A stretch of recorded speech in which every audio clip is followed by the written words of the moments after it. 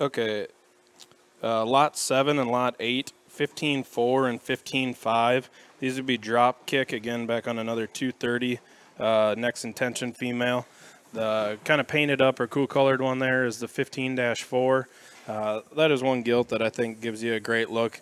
Head and neck come out of its blade high and, and very stout at the ground, featured, and can get out and go all day.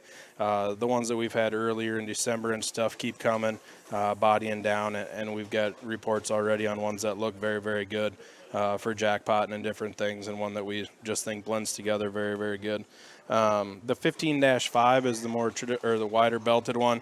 Um, maybe not as crazy fronted uh, as the, as the other one right now, but one that we think still blends together good. Good hip, hind leg in that one. Um, body and rib cage we think is very good. Maybe just a tick longer at this stage right now, but one that we think can fill out uh, and have a good future as well going down the road and in, in throughout the summer. So again, that is um, lot seven and lot eight.